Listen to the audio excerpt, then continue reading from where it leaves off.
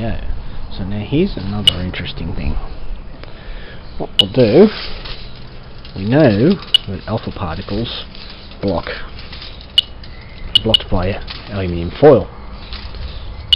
The aluminium foil is not radioactive. The sensor only picks up alpha particles, nothing else.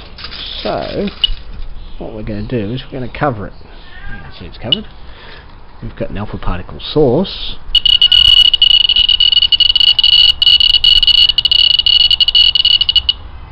So not all alpha particles are stopped by aluminium foil. And as you can see, these are particularly high energy particles. That's about 5 centimeters. 5 centimeters of air does more, 10 centimeters of air does more than the aluminium foil does.